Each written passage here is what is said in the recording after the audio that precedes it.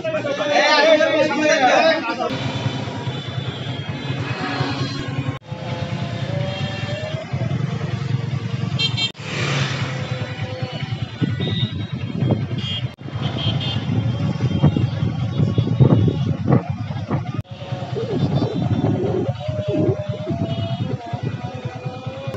cool,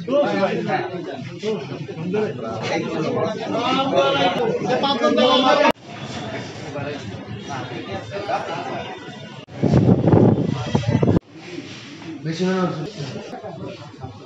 আমি advocate Mohammad Hafizur Rahman.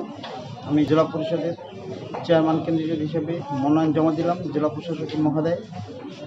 আমার চিন্তাভাবনা এবং ছোটোবেলা থেকে আমি তৃণমূল রাজনীতির সাথে জড়িত এবং মানুষের ভালোবাসা দিয়েছি এবং ভালোবাসা পেয়েছি এবং সেই চিন্তাভাবনা করেই আমি জেলা পরিষদ চেয়ারম্যান পদে নির্বাচন করতে চাই। এই কারণে যে এখানে অনেক কিছু দেওয়ার আছে, অনেক কিছু মানুষের সেবা করার একটা জায়গা। আমি এটা নিষ্ঠার সহিত এবং সততার সহিত আমি পটুয়াখালী জনগণের খেদমত করতে চাই এবং সেবক সেবক হিসাবে আমি থাকতে চাই। এবং আমি আমার এই পটুয়াখালী ডিস্ট্রিক্ট ব্যাপী প্রত্যেকটা ইউনিয়ন পর্যায়ে আমি জেলা পরিষদের কর্মকাণ্ডটা বুঝাই দিতে চাই যে না একটা জেলা পরিষদ কী পারে?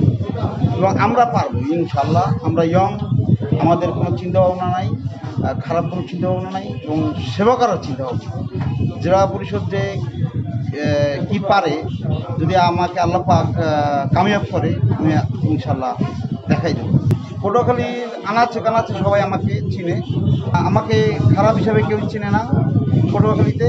আমি পটুয়াখালীতে যেহেতু এখানে সবাই নির্বাচিত লোকজনই, নির্বাচিত চেয়ারম্যান এবং কমিশনার এবং যারা আমাদের ইউপি সদস্য আছে এবং জেলা চেয়ারম্যান এবং মেয়র, পৌর মেয়র, তারা সবাই কিন্তু জানে যে কে ভালো, কে মন্দ।